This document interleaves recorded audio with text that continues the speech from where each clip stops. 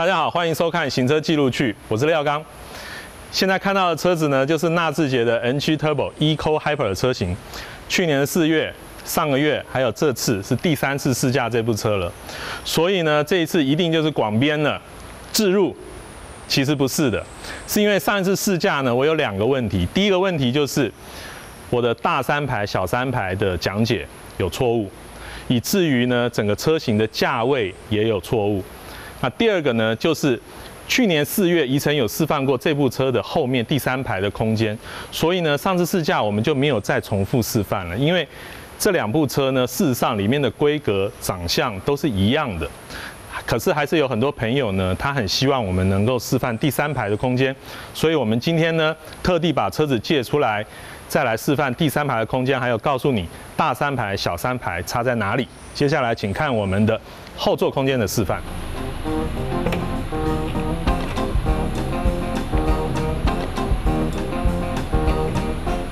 现在我来到第二排哦，第二排呢，我前面驾驶坐姿是依照我的身高一百七十二公分调整好了以后呢，你可以看到我第二排留的空间，膝部空间还有两个拳头超过了。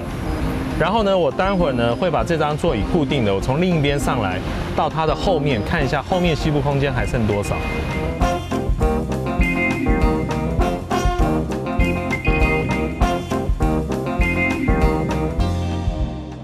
在第三排，我们现在来看一下我的膝部位置。膝部的位置刚好就是一个拳头多一个指头。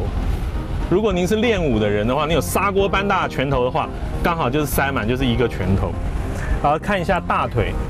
这个坐垫呢，当然啦，就是没有办法支撑到你整只大腿，它有蛮空的地方，然后支撑比较短一些。另外呢，就看头部，头部这边呢。可以看到我的颈部的位置刚好就是它头枕的高度，然后它没有办法直接拖到你的后脑勺，所以呢，整个第三排后面空间这个位置呢，应该就是适合一百六十公分以下。我觉得话大概就是小学毕业以前，大概一百五十几公分的这样子的身高的朋友坐在后面才会比较适合。不然的话，这后面大概就是偶尔短距离出游。如果说你要从台北到屏东这么远长途或是环岛的话，后面这个位置给像一百七十公分我这样子这种身高的人呢，坐起来的话长途都会觉得比较疲累的。那比较好的地方就是第二排、第三排它都有一个后座的冷气出风。口很棒，好，左右两边都有置杯格，有置物格都在旁边，这也是很棒的地方。那除此之外呢，整个的 M7 Turbo Eco Hybrid 的车型，从前面到后面，如果说是坐六个人的话，事实上都是蛮舒服的。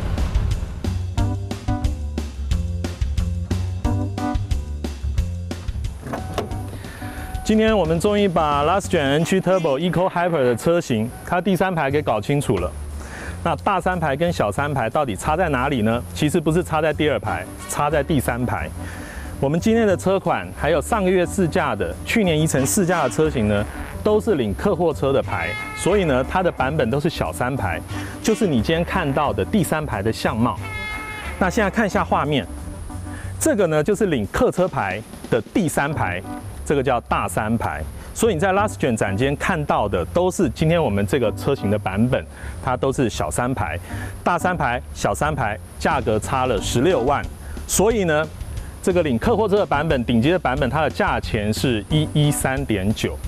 这是最大的差别了。那我们介绍完了，如果说各位朋友呢对这台车还有更多的疑问或想要知道什么问题的话呢，